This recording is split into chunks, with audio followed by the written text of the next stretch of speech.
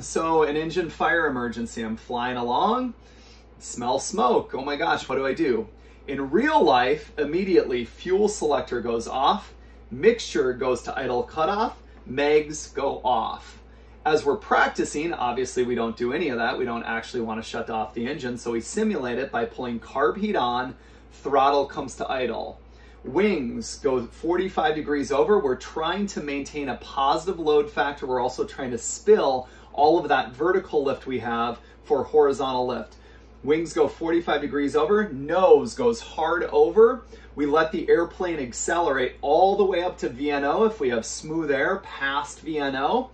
We are descending at this point at pegged at least 2,000 feet per minute. We're trying to get as much airflow over the engine as possible to turn off that, uh, that fire or to extinguish the fire. Uh, we're also trying to get on the ground as quickly as possible.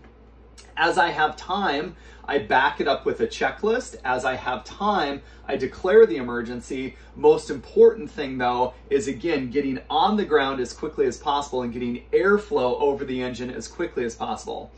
In the um, in the training world, at some point we would recover with at least 1500 feet AGL. We would go back to wings level. We would bring the nose back to the horizon, carb heat cold, add throttle, resume straight level, unaccelerated flight, and do a, a cruise checklist.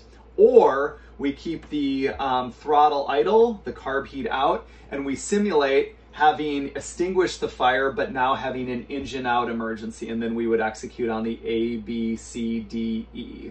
That's an engine fire.